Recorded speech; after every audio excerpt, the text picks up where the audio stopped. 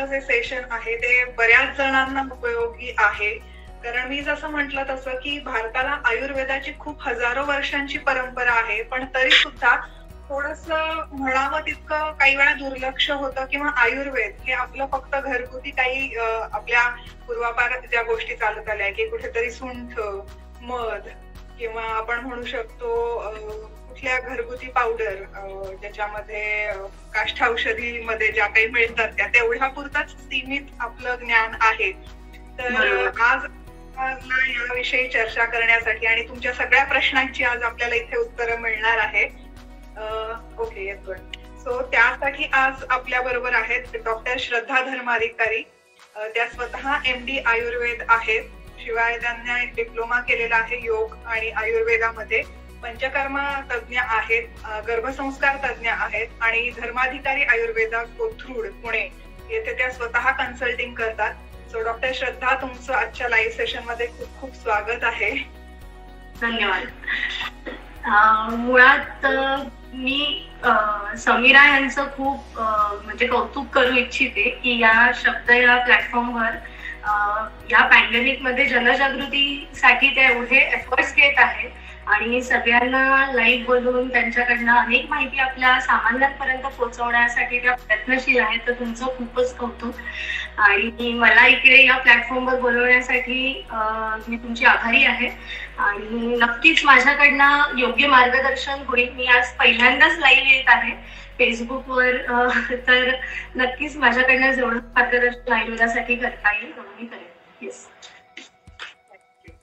So आता आपलं session सुरू करताना पहिला हा जो प्रश्न आहे की तो सगळ्यांनाच की घरगुती आपण मी जसं म्हटलं की फारसा अवेअरनेस नसतो. एक थोड्या गोष्टी म्हणजे आयुर्वेद हे असं आपल्याला वाटतं. डेली गोष्टींमध्ये आपण आयुर्वेदाला कसं आत्मसात करू शकतो? किंवा आपण जसं म्हटलं होतं की आपली इम्युनिटी वाढवण्यासाठी आता आयुर्वेदाचा कसा उपयोग होऊ शकतो? आजच्या सिच्युएशन मध्येच म्हणा किंवा इतरही वेळी आयुर्वेदाने आपण काय गोष्टी बाह्य किंवा आत पोटामध्ये घ्यायला हव्या किंवा बाह्य ज्या गोष्टी असतील त्याचा कसा उपयोग होतो? बरोबर. मुळात मला खूपच आनंद होत आहे की मी जो हा आयुर्वेद आहे जो आयुष्याचा वेद सांगितलेला आहे it's knowledge about your life life science असं एक सांगितलेलं आहे. आणि ह्याचा पदोपदी अनुभव गेल्या बारा वर्षाच्या प्रॅक्टिसमध्ये मला येत आहे. पुण्यामध्ये मुंबईमध्ये बारा वर्षापासून आपण आयुर्वेद प्युअर प्रॅक्टिस करत आहोत. आणि अनेकदा जेव्हा आपण लोकांना ट्रीटमेंट देतो आयुर्वेदाने तेव्हा त्यांच्या अनेक साध्या साध्या शंकांचं सुद्धा निरसन केलं जातं. जे कुठल्याच डॉक्टरांनी तेवढ्या लेवलवर केलं नसतं. आणि आता पॅन्डेमिकमध्ये तर अगदी छोट्या छोट्या शंका त्यांच्या असतात. जे आयुर्वेदामध्ये ज्याची उत्तरं पाच हजार वर्ष वर्षांपूर्वी ऋषीमुनींनी ग्रंथात दिलेली आहे. म्हणजे हा इतका शाश्वत वेद आहे आणि मला खूपच आनंद होतो की मी या पॅथीकडे आले आणि याची प्रॅक्टिस करत आहे. आणि मुळात आयुर्वेदामध्ये जे प्रयोजन आहे आयुर्वेदाचं ते स्वस्थस्य स्वास्थ्य रक्षणम आणि आतुरस्य विकार प्रश्रम आता अनेक वैद्य लाईव्ह येत आहेत युट्यूबवरती बोलत आहेत. तर सगळे हेच सांगत आहेत की स्वस्थ व्यक्तीचं स्वास्थ्य टिकवून ठेवण्यासाठी आणि जो रोगी आहे त्याला निरोगी बनवण्यासाठी औषधी उपचाराने त्याचा रोग नाहीसा करण्यासाठी आयुर्वेदात प्रयोजन सगळी दिलेली आहेत. मग त्याच्यासाठी औषधी चिकित्सा असेल आहार विहार असेल पंचकर्म असतील योग प्राणायाम याचं सगळं वर्णन डिटेल आयुर्वेदामध्ये सांगितलेलं आहे. तो नक्कीच या पॅन्डेमिक म्हणजे जो जनपद ध्वंस व्याधी आता आहे अगदी देश काल वायू या सगळ्यावरती त्यांनी त्याचा परिणाम झालेला आहे. तर या व्याधीमध्ये आयुर्वेद हे अगदी मोठ्या प्रमाणामध्ये कार्य करत आहे आणि अजूनही पुढे करू शकतं. सगळेच वैद्य अगदी तत्पर आहेत या सेवेसाठी. आणि ह्याचा फक्त सगळ्यांनी लाभ घ्यावा. आपल्या नजीकच्या वैद्यांकडे जाऊन तुमची प्रकृती म्हणा तुमचे काही वेगळे आजार असतील म्हणजे कोविडसाठी तर तुम्ही नक्कीच कन्सल्ट करू शकता. पण काहीही न लपवता तुम्ही वैद्यांपासून सगळ्या तुमच्या सगळे जे काही तुमचे प्रश्न आहेत ते तुम्ही विचारू शकता. आणि नक्कीच मला असं वाटत नाही कोणी या गोष्टीसाठी नाही म्हणणार नाही. सगळेच वैद्य आता खूप तत्पर सेवा देत आहेत. ओके. तर म्हटलं की रोजच्या डेली रुटीन मध्ये आपण अशा काही गोष्टी इंटेक करू शकतो. येस आयुर्वेदामध्ये एक उत्तम गोष्ट सांगितलेली आहे ती म्हणजे दिनचर्या.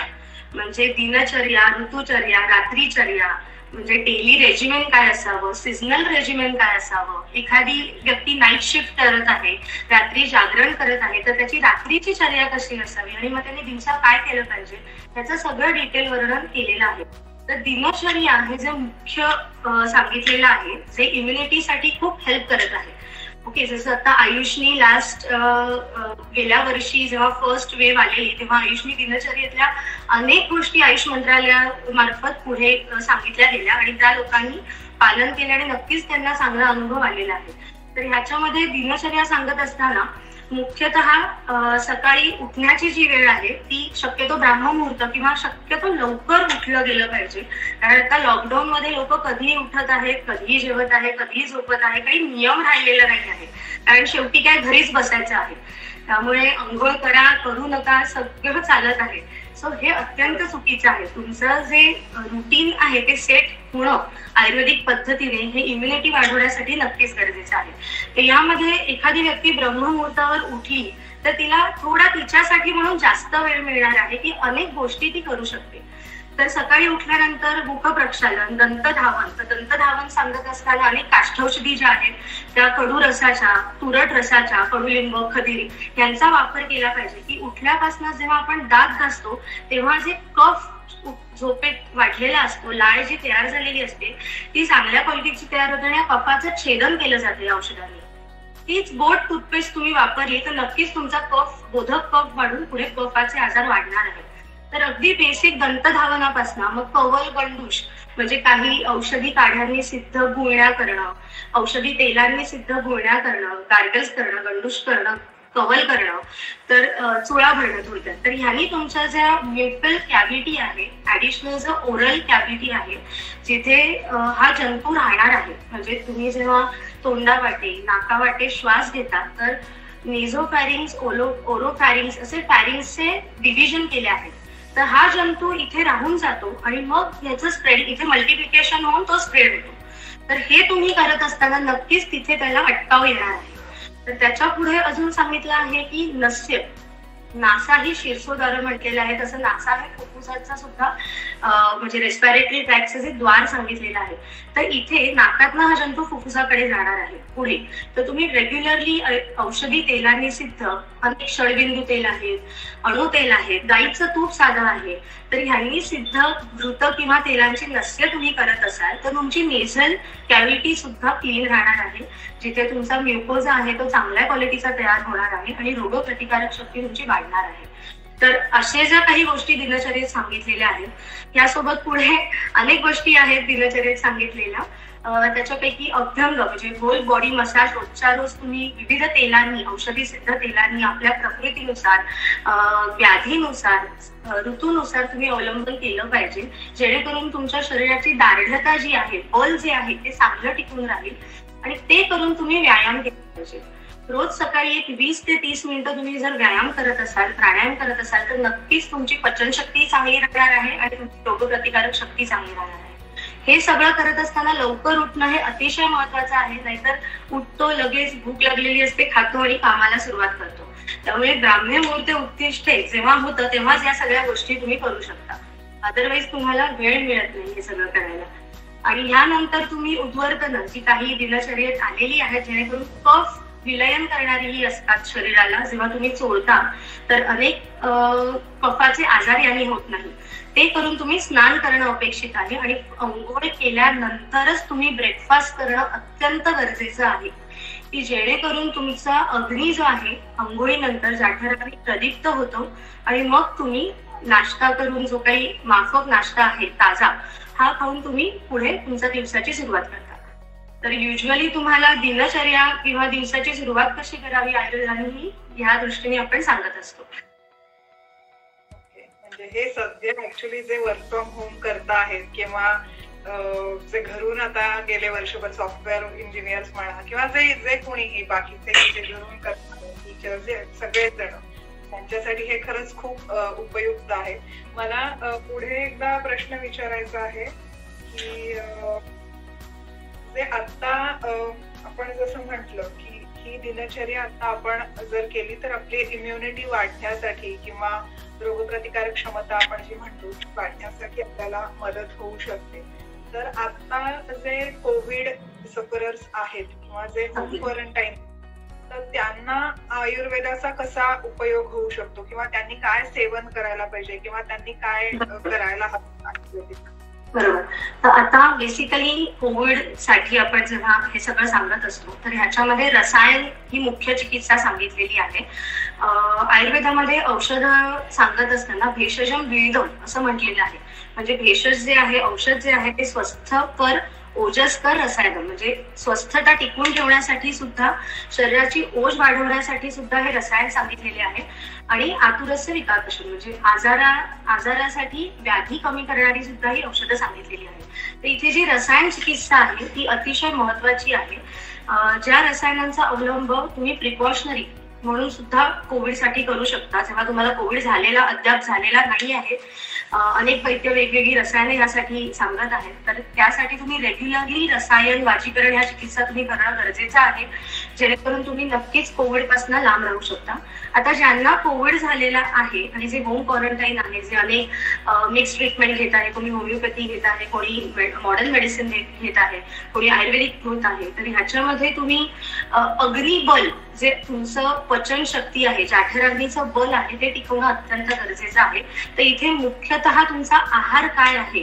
कारण अनेकदा काय होत आहे कोविडमध्ये लोक बाहेरून डबे लावत आहेत.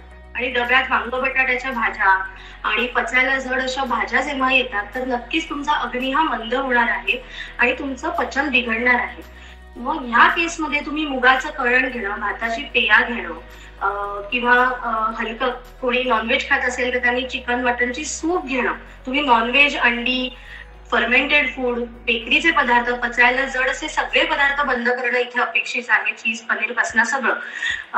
प्रोटीन म्हणून अतिरिक्त प्रोटीन वरती आता भर दिला जातो आणि त्यातला कफ हा वाढत आहे आम वाढत आहे अन्न पचनक्रिया ही मंदावत आहे. त्याच्यामुळे पचायला हलके पदार्थ या काळात खाणं हे अत्यंत गरजेचं आहे.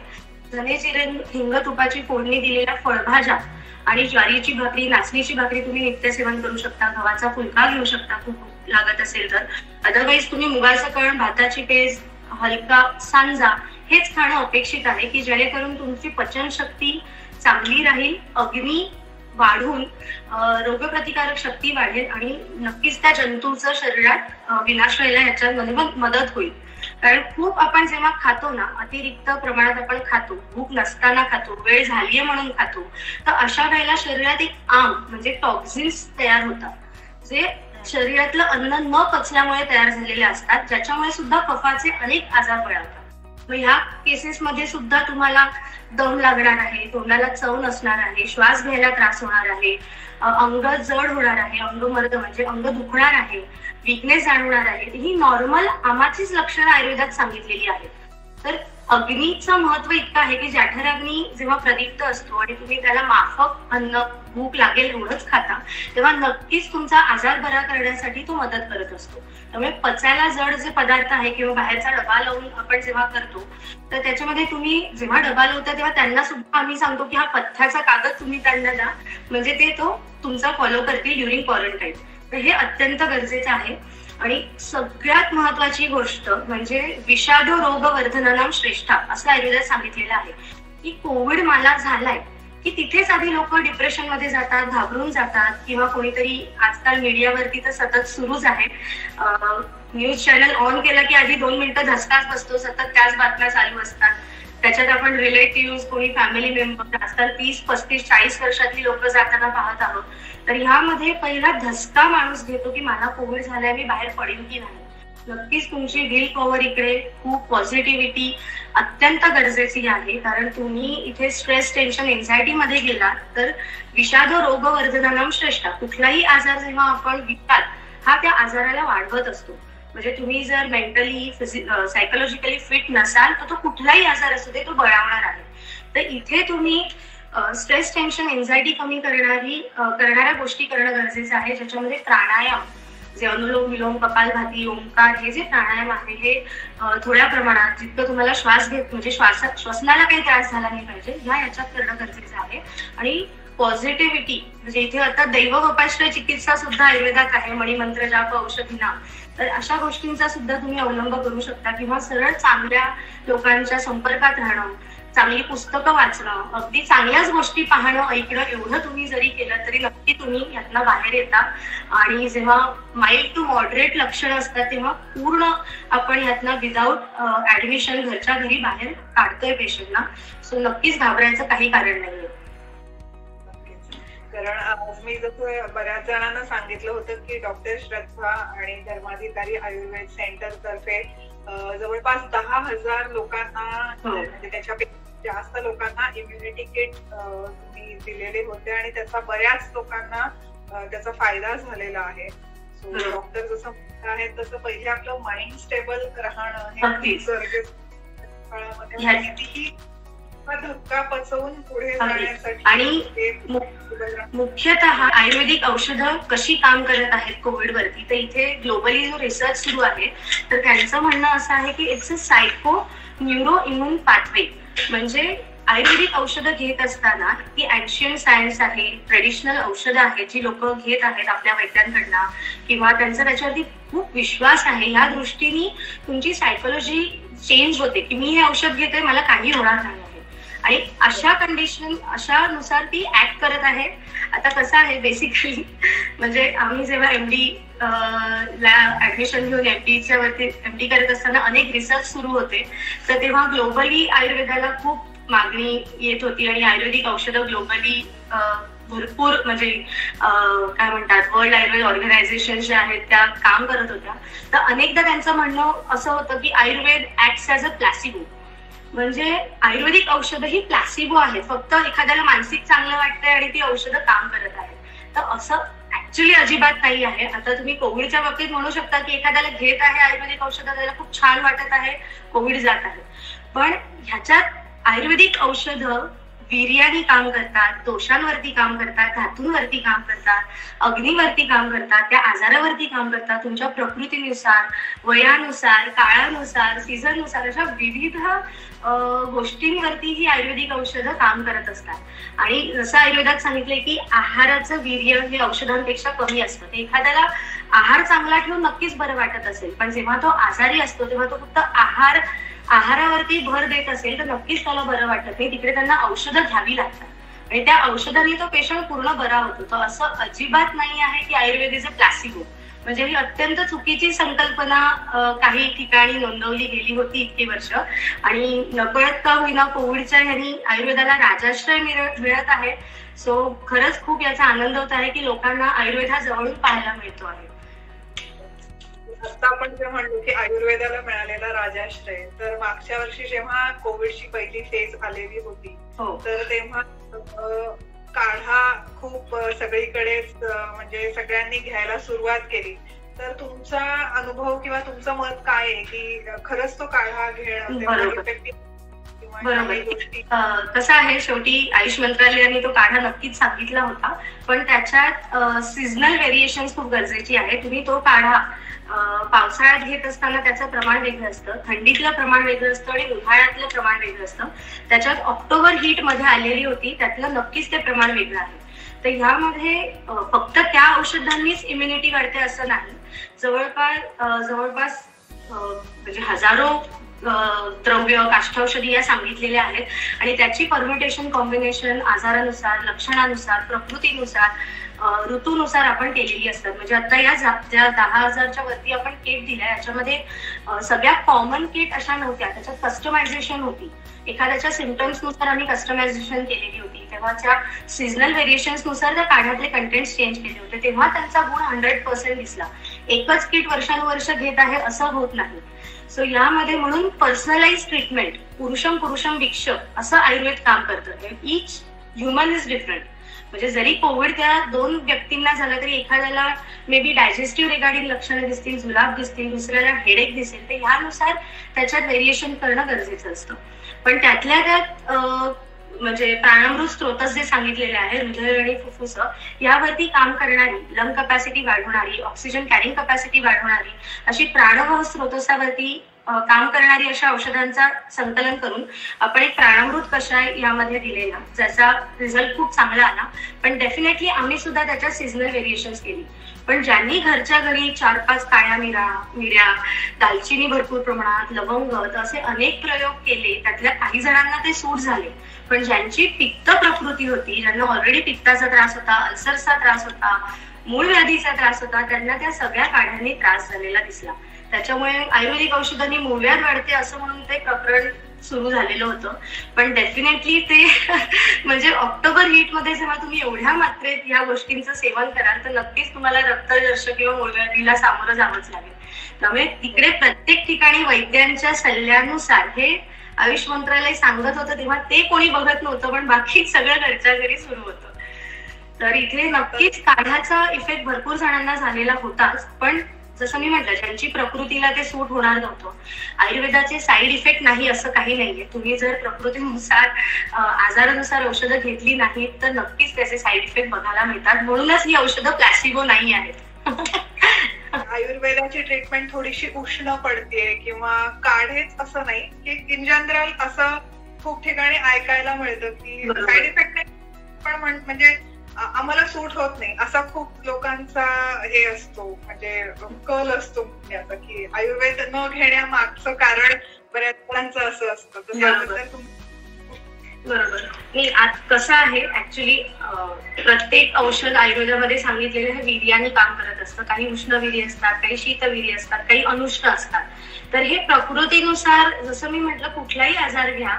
म्हणजे इव्हन कोविडसाठी सुद्धा आम्ही कोविड असताना पोस्ट कोविड पोस्ट कोविड कॉम्प्लिकेशनमध्ये सुद्धा जेव्हा औषधं देतो ती प्रत्येक रुग्णासमक्ष ही वेगळी आहेत. तीच औषधं दहा रुग्णांना असं नाही आहे. तर इथे औषध जे देत देतो तेव्हा अनेक गोष्टींचा अनेक बाबींचा विचार वैद्य करत असतो. म्हणूनच नाडी परीक्षा करत असताना दशविध परीक्षा सुद्धा त्याच्यासोबत सांगितलेल्या आहेत. की त्याची प्रकृती म्हणा बल म्हणा त्याचं वय म्हणा तरुण आहे का? आता लहान मुलं ही कफाच्या कफ दोष प्रधान सांगितलेली आहेत. त्यामुळे लहान मुलांना जनरली औषधं उष्ण पडत नाहीत. उलट सर्दी कफाचा त्रास असल्यामुळे त्यांना ती रेग्युलर घेण्यासाठी म्हणून किट मधली जी औषधं आहेत किंवा काढे जे आहेत ते सूट झालेले असतात. पण तरुण वय हे पित्ताचं सांगितलेले आहे. तिथे ऑलरेडी पित्ता पित्ताधिक्य असणार आहे. आणि त्याच्यामध्ये तुम्ही जर चुकीच्या पद्धतीने ती घेतली तर नक्कीच त्यांनी उष्णता तुमच्या शरीरात वाढणार आहे. उतारवय जे आहे वृद्धावस्था ही वातप्रधान सांगितलेली आहे. तर इथे नक्कीच तुम्हाला व्हायरल आर्थरायटिस सुद्धा अनेकांना बघायला मिळतो की कोविडच्या पोस्ट कॉम्प्लिकेशनमध्ये किंवा कोविड असताना भरपूर सांधेदुखी लोकांना जाणवत आहे. तर ह्या गोष्टींचा विचार करूनच कुठलाही वैद्य ट्रीटमेंट देत असतो. तर असं अजिबात नाही आहे की आयुर्वेदिक औषधं उष्ण असतात. म्हणजे अनेकदा आमच्याकडे पित्तासाठी म्हणून पेशंट येतात. आणि जनरली स्त्रिया ज्यांना सायकोलॉजिकल स्ट्रेस कुठेतरी असतो जागरण होत असतात झोप लागत नसते आणि पित्तासाठी म्हणून अगदी मौक्तिक काम दुधा म्हणा प्रवाळ पंचामृत अशी थंड औषधं दाहयोग असे दुर्वाकल्प अशी थंड औषधं दिली तरी ते आम्हाला सांगतात की आम्हाला खूप ऍसिडिटी झाली. तर मग तेव्हा आम्ही तेव्हा त्यांना थोडी सायकोसोपॅनिक म्हणजे सायकोलॉजिकल वरती काम करणारी औषधं देतो की जेणेकरून त्यांना लगेच बरं वाटतं. तर इथे कुठेतरी स्ट्रेस टेन्शन एन्झायटी किंवा त्या औषधाबद्दलचा अविश्वास ह्याच्यामुळे तुम्हाला अनेकदाही लक्षणं दिसतात. म्हणून वैद्याचे गुण सांगताना रुग्णाचे गुण सांगताना म्हणजे अनेक गुण सांगताना त्याच्यामध्ये व्यापकत्व त्याच्यानंतर वैद्याच्या सल्ल्याने औषधं घेणारा अभिरू म्हणजे अजिबात न घाबरणारा असे जे रुग्ण असतात आणि आम्ही जे समुपदेशन केलं आहे ते पालन करणार तर तो रुग्ण नक्कीच पूर्ण बरा होतो. अपुनर्भव चिकित्सा आपण त्यांच्यात करू शकतो. तर या अनेक गोष्टींचा याच्यामध्ये फरक पडतो. त्यामुळे असं अजिबात नाहीये की आयुर्वेदिक औषधं ही उष्णच आहे किंवा कोविडसाठी जी आयुर्वेदिक औषधं वैद्य वापरतात ती उष्णच असतात. कारण कोविड हा कफाचा आजार आहे असं अजिबात नाही आहे कोविड हा उन्हाळ्यात वाढत आहे आणि ह्याचं थंडीत कमी होता. पावसाळ्यातही त्या मनाने कमी होता पण उन्हाळ्यात आता ग्रीष्म ऋतू जेव्हापासून सुरू झाला तेव्हापासून वाढत आहे. आणि ह्या याच्यामध्ये मुख्यतः आपण बारा महिने घेतले तर बारा महिन्यांपैकी ग्रीष्म ऋतू किंवा जो आदान काळ सांगितलेला आहे इथे शरीराची व्याधी प्रतिकारक शक्ती किंवा बल हे सगळ्यात कमी असतं म्हणून तो वाढत आहे.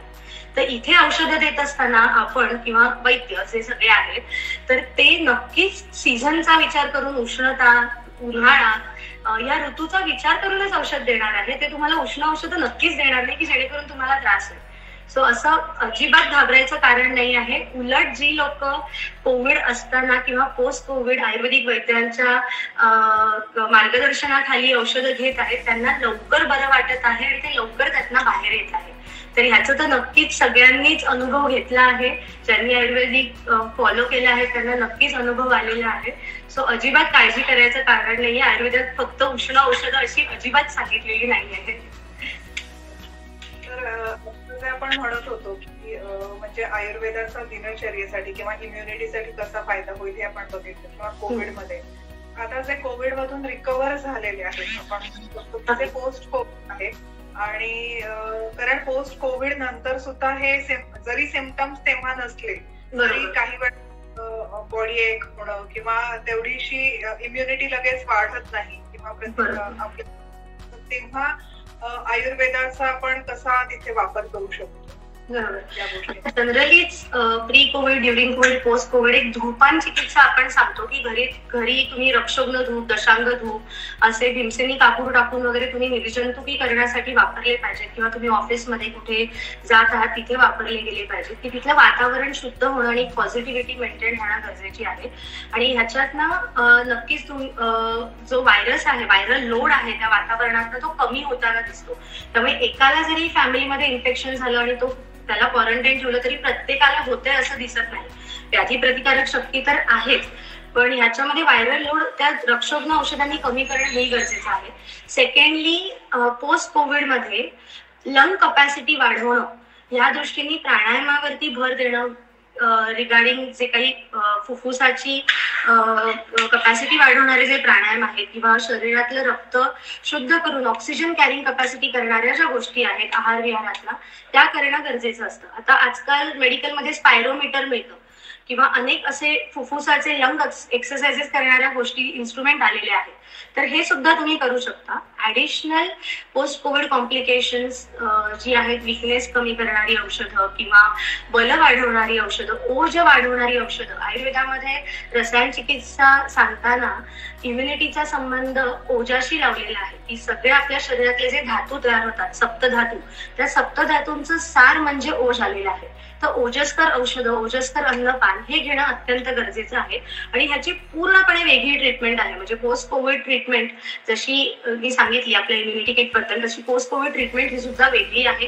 आणि ती घेणं नक्कीच गरजेचं आहे की जेणेकरून तुम्हाला दम लागणं पुढे व्हायरल जो आर्थरायटिस डेव्हलप होत आहे अनेकांना सांधे दुखणं आहे डोकेदुखी आहे थकवा लागणं हे सगळं कमी होत आहे.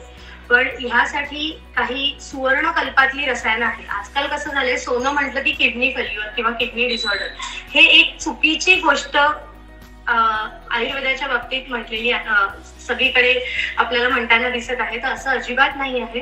तुम्ही शुद्ध सुवर्ण भस्म जे लॅब टेस्टेड आहे लॅबमध्ये टेस्ट करून तुम्ही अगदी हंड्रेड पर्सेंट त्यांनी काहीही साईड इफेक्ट होणार नाही. असं सुवर्ण भस्मांचे जे कल्प आहेत सुवर्णमालिनी वसंत श्वासता चिंतामणी तर हे सगळे तुम्ही जेव्हा वापरता तेव्हा तो थकवा नक्कीच गेलेला दिसतो. तर अशा कॉम्बिनेशनमध्ये आपण औषधं बनवतो. जी तुम्ही पोस्ट कोविड देऊ शकता.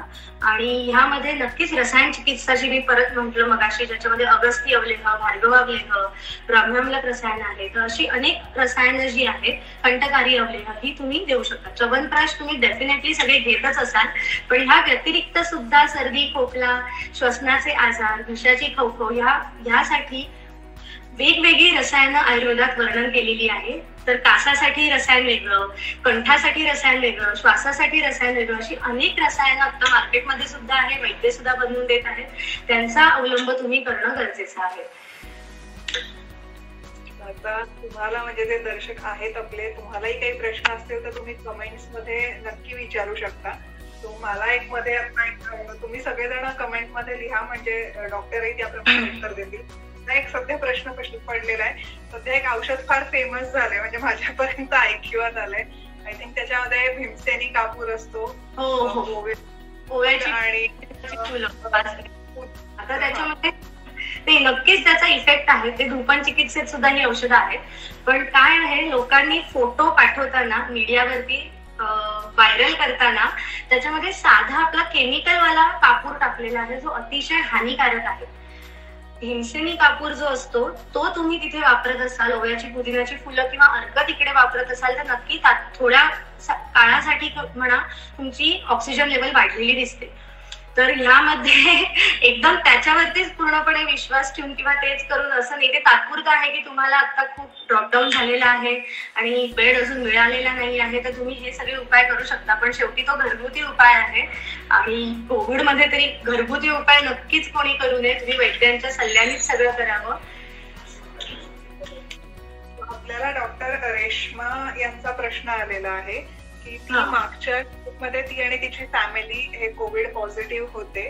आणि त्यानंतरमध्ये त्यांनी ब्लड टेस्ट केली तर हेमोग्लोबिन आणि कोलेस्ट्रॉल वाढलेलं दिसतंय सगळ्याच फॅमिली तर त्यासाठी काय काळजी घ्यायला पाहिजे यापुढे? आणि ब्लड ठीक होतं तर अशी अनेक म्हणजे म्हणतात तर त्याचं खरं आहे का ते? बरोबर. आता कोविडमध्ये जो ताप येतो ओके कुठल्याही कोविडच्या पेशंटची सुरुवात तापाशिवाय झालेली नाहीये. एक दिवसासाठी म्हणा अर्ध्या तासासाठी म्हणा दोन दिवसासाठी म्हणा ताप येऊन गेलेला आहे. तर इथे ज्वराची संतप्ती शरीरात घडायला सुरुवात होते. आणि जेव्हा ज्वर असतो तेव्हाच ही सगळी लक्षणं सांगितलेली आहे. अंगभर्द देहेंद्रिय मन संताप तर ही सगळी लक्षणं सांगितलेली आहेत. आणि हा ज्वर मुळापासून ट्रीट झाला नाही. कारण ह्याच्यामध्ये जसं मी म्हंटल ज्वराला चिकित्सा करत असताना लंघन पाचन ह्या औषधांचा अवलंबन होणं खूप गरजेचं आहे. लंघन म्हणजे कमी खाणं. माफक खाणं पाचन चिकित्सा घेणं. आणि त्यातनं जर तुम्ही पूर्णपणे बरे झाल्या नाहीत तर ज्वराच्या पुढे रक्तपित्त नावाचा आजार सांगितलेला आहे.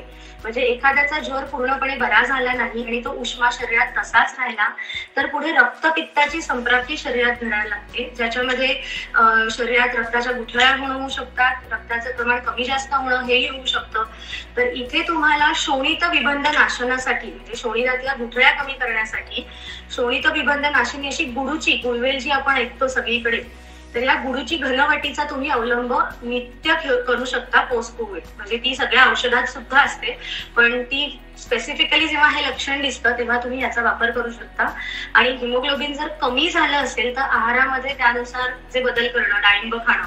डाळिंब हे एकमेव फळ जे आहे ते तुम्ही ज्वरामध्ये रक्तपित्तामध्ये सर्दी कफ असताना सुद्धा खाऊ शकता. कारण डाळिंबानी सर्दी कफ होत नाही. ते पिकलेलं असावं कच्चं नक्कीच नसावं. पण बाकी जी फळं आहेत आंबा सुद्धा चालतो. बाकी जी फळं आहेत ती नक्कीच कफकारक आहेत. तर इथे कुठली फळं खायची आहेत आपल्याला हे सुद्धा माहिती पाहिजे. तर इथे डाळिंब खजूर बीट ह्या गोष्टींचा हिमोग्लोबिन वाढवण्यासाठी मदत होते. त्यांच्या तुमच्या आहारात असावे. आणि तशीच जी चिकित्सा तात्यादी लोह जे औषध आहे रक्तवाढीसाठी तुम्ही इथे घेऊ शकता. तर इथे संप्राप्ती कशी घडत आहे? म्हणजे रक्तपित्त संप्राप्ती घडत असताना एखाद्याचं हिमोग्लोबिन खूप जास्त वाढलेलं आहे किंवा कमी झालेलं आहे ह्यानुसार ती ट्रीटमेंट ठरत असते. पण मुख्यतः तुम्ही जेव्हा प्राणवह स्रोतसावर काम करता हृदय आणि फुफ्फुस तर हृदयामध्ये रक्ताभिसरण ही क्रिया होत असते आणि फुफ्फुसात ते रक्त शुद्ध होत असतं. तर हे करत असताना प्राणवह स्रोतसावरील जी औषधं आहेत जी आपल्या प्राणामृत कशामध्ये आहेत आणि अनेक अशी श्वासहर कासर औषधं आहेत ती तुम्ही घेणं खूप गरजेचं आहे की जेणेकरून हा साईड इफेक्ट दिसत नाही पोस्ट कोविड त्यांचा प्रश्न आला की गुळवेलाचं जे टॉनिक असतं ते डायरेक्ट घेऊ शकतो का? याबरोबर गुळवेल असेल तर तुम्ही गुळूची शिरपाक करून घेऊ शकता त्याच्यात सोंठ टाकू शकता किंवा गुळवेलीचा स्वरस घेऊ शकता. पण रेडीमेड प्रिझर्वेटिव्ह असलेल्या गुळवेलीच्या रसाने तुम्हाला काहीही उपयोग होणार नाही आहे. किंवा तुम्ही सर्व घनवट्या आजकाल मिळत असतात त्या सुद्धा घेऊ शकता. पण हे कसं आहे गुडूची ही विष्टंभी म्हणजे संडासाला मळाचा खडा करणारी सुद्धा सांगितलेली आहे. त्यामुळे किती मात्रेत घ्यावी? ज्याचं पोट रेग्युलरली साफ होत आहे कॉन्स्टिपेशनचा त्रास नाहीये त्यांनी घ्यावी. पण तुम्ही गुळवेल खाताय आणि कॉन्स्टिपेशन होते असंही झालं नाही पाहिजे. त्याच्यामुळे किती मात्रेत त्यांनी कोणी घ्यावी ज्याला गरज आहे त्यांनीच घ्यावी. नाहीतर एवढ्या लोकांनी गुळवेल खाल्लेली आहे की सगळा कोविड आतापर्यंत गेलाच असता. गुळवेल दिसत नाही आता आधी जशी पुण्यात बघायला मिळायची. पण इतपत गुळवेलीवरती भर दिला गेलाय. पण फक्त गुळवेल हे औषध नाहीये रसायन सांगताना अनेक अश्वगंधा शतावरी पिंपी गुळवेल काळमेघ त्याच्यानंतर अनेक अशा औषधी आहेत ज्या आयुर्वेदाने सांगितलेल्या आहेत ज्यांचं तुम्ही अवलंबन करणं अत्यंत गरजेचं आहे.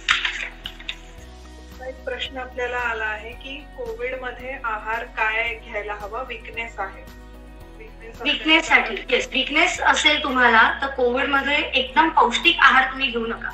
पहिली गोष्ट लंघन पाचनाने सुरुवात होणं गरजेचं आहे. जसं लहान बाळ आईच्या दुधावरनं नॉर्मल जेवायला लागतं तर पहिल्याच दिवशी त्याला आपण पोळी भाजी भात आमटी भरवत नाही. अगोदर तांदूळाची पेज मुगाचं कळण किंवा किमती करून आपण देतो हळूहळू वरण भात देतो सांजा देतो आणि मग त्याला नॉर्मल जेवायला लावतो.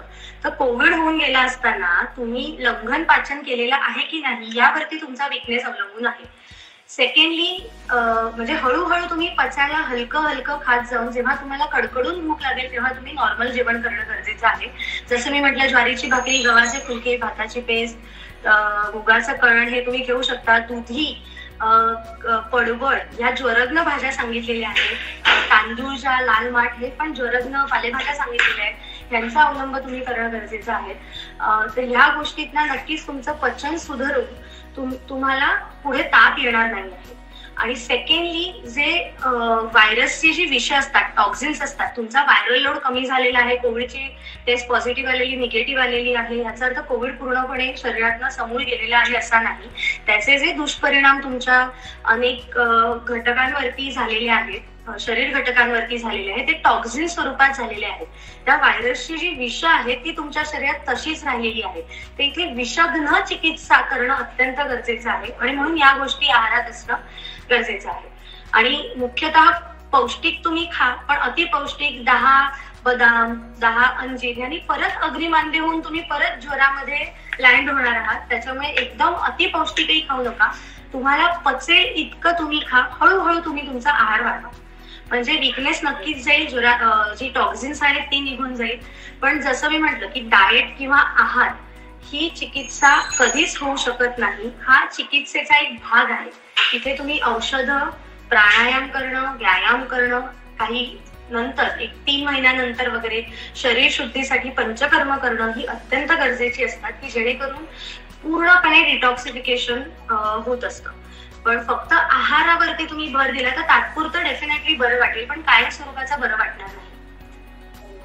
कारण काही जण अजूनही आहेत की जे म्हणजे आपल्याला जो कोविडचा सो कॉल्ड पिरियड सांगितलं की पंधरा दिवस हा कोविड असतो आपल्याला. असं अजिबात नाही आहे. अँटीबॉडी पन्नास पन्नास दिवस पण प्रेझेंट आहेत आणि मुख्यतः तरी लोक होम क्वारंटाईन कडे भर देत आहे मध्यंतरी लोक कोविड सारखं वाटलं तर टेस्टही करत नव्हते.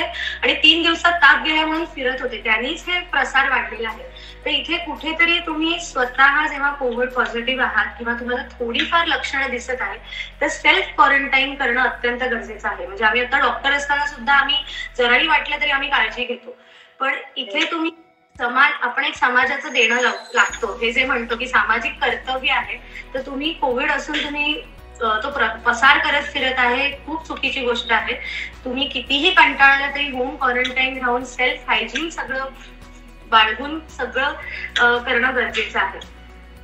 आणि अजून एक आहे की जसं पंधरा दिवस झाले आणि मला बरं वाटतं फिरणं नाही किंवा पण साधारण आपल्याकडे भारतीय बायकांना किंवा स्त्रियांना अशा सवयी असतात की घरात हा ठीक एक दोन चार दिवस डबा लावला पण आता आम्हाला ते बाहेरच्या डब्यानी काही होणार नाही लगेच स्वयंपाकाला लागणं किंवा लगेच घरातल्या गोष्टी सुरू करून मग परत विकनेस येतो.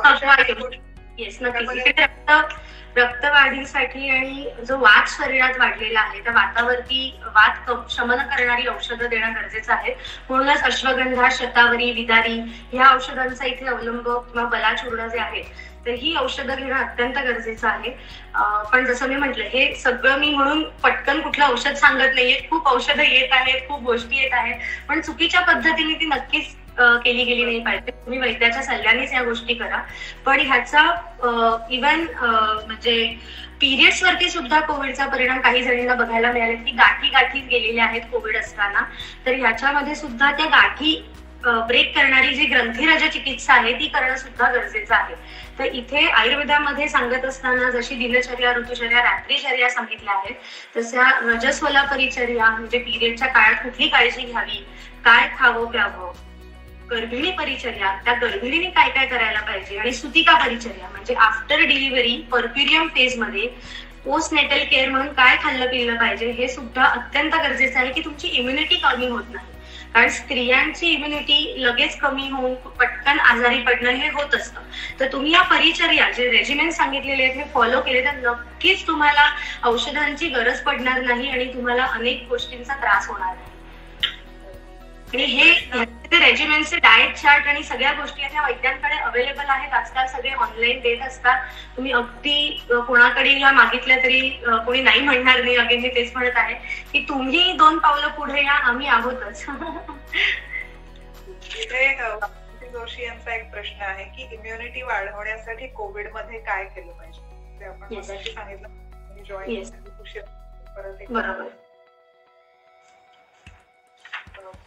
इम्युनिटी वाढवण्यासाठी तुम्ही नक्कीच इम्युनिटी वाढवण्याचे कॅप्सूल आहेत काडे आहेत रसायनं जी आहेत ओजोवर्धक आहार विहार आहे या गोष्टींचा अवलंब करू शकता धूपन चिकित्सा दिनचर्याचं पालन करणं हे सगळं करू शकता. म्हणजे अगदी तुम्ही कोविडला घाबरण्याचं नक्कीच कारण नाही आहे. अगेन अगेन मी तेच सांगत आहे.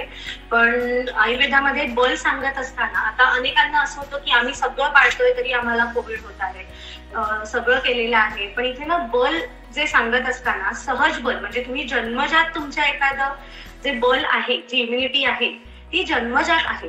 ओके एखाद्याची एक्वायर्ड इम्युनिटी म्हणजे युक्तिकृत ओके जी इम्युनिटी आहे ती युक्तिकृत बल तयार झालेलं असतं. म्हणजे तुम्ही रेग्युलरली उठताय सूर्यनमस्कार करताय प्राणायाम करत आहात सात्विक अन्न खात आहात जेणेकरून तुमच्या शरीरातले मनातले दोष शरीरातले दोष वाढत नाही आहात. तुमची पॉझिटिव्हिटी मेंटेन राहत आहे आणि मग तुम्हाला कोविड होत नाही तर इथे युक्तिकृत बल त्याच्यानंतर सहज बल आणि कालकृत बल. म्हणजे आता जे आपलं काहीही सीझनमध्ये बदल झाला की ऋतुसंधीमध्ये इम्युनिटी कमी होणं सीझनल इम्युनिटी कमी होणं हे जे आहे कालकृत बल आहे. तिथे बलानुसार सुद्धा ट्रीटमेंट आपल्याला करावी लागते. तर त्यामुळे त्या त्या व्यक्तीला कोविड होत असताना त्याची पूर्ण आहार विहारापासून चिकित्सा ही वेगवेगळी असते.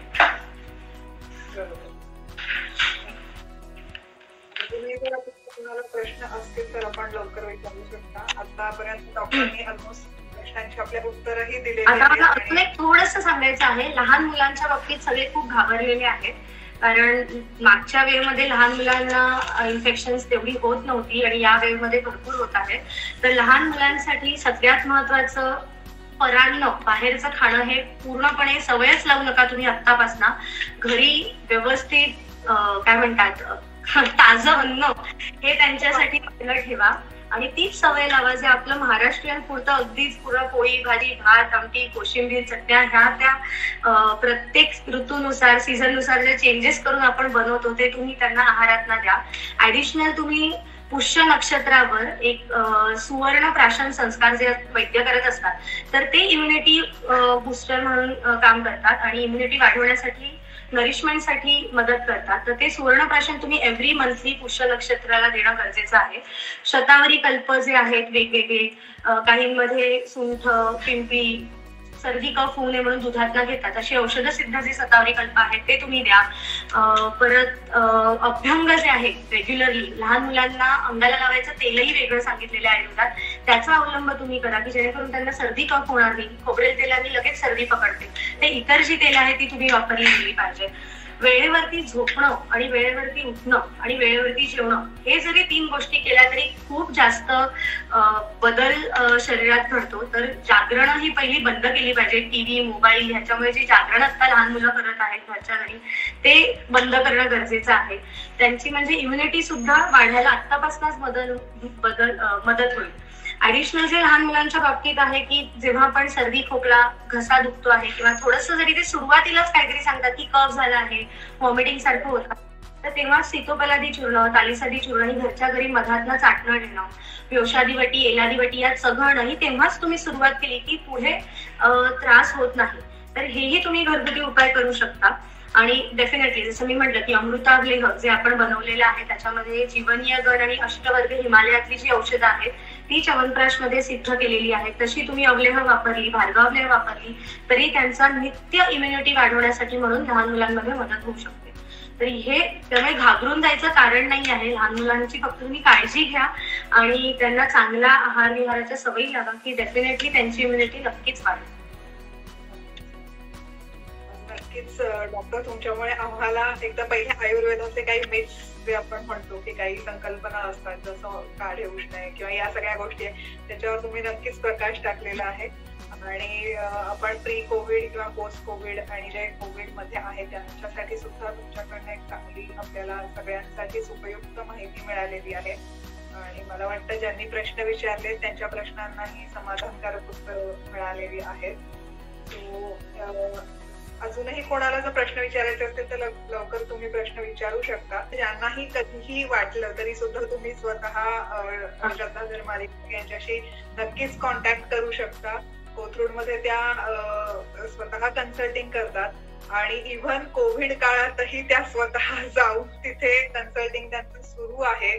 सो तुम्ही नक्कीच त्याचाही फायदा घेऊ शकता. त्या स्वतः आयुर्वेदामध्ये एमडी आहेत. योग आणि आयुर्वेदा या दोघांचाही संयोग साधून त्या ट्रीटमेंट देत असतात. आज आपल्याला त्यांच्याकडून खूप छान माहिती आज डॉक्टर तुमच्याकडून ऐकायला मिळाली आम्हाला. त्याबद्दल तुमचे खूप खूप आभार आणि तुम्ही आज लाईव्ह सेशनसाठी तुमचा वेळ दिला. रविवार असून सुद्धा क्लिनिकमध्ये तुम्ही वेळ दिला. त्याबद्दलही खूप खूप आभार.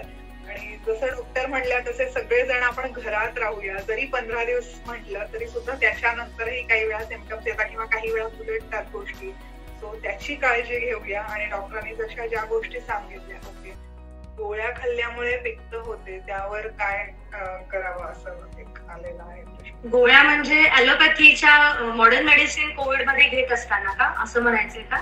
वासंतीताई म्हणतात की बहुतेक येस ॲलोपॅथीच्या त्या गोळ्या बरोबर. तो बरोबर. थोडी कुठलीही ऍलोपॅथी औषधाने थोडस पित्त वाढत असतं. सो तुम्ही इथे आहार आहारावरती भर द्या किंवा पित्तशामक काही औषधं आहेत. पण कसं आहे पित्तशामक औषधं सांगत असताना तुम्हाला कफ आहे का सर्दी आहे का हे पण पाहणं गरजेचं असतं.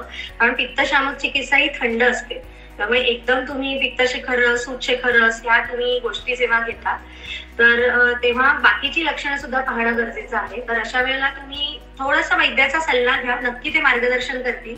आणि तुम्ही पित्तशामक जी औषध आहे ती तुम्ही वैद्यांकडनं घेऊ शकता. आयुर्वेदिक आणि ॲलोपॅथी दोन्ही एका वेळी ट्रीटमेंट तुम्ही कोविड काळात घेऊ शकता. त्यांची काहीही इंटरॅक्शन होत नाही.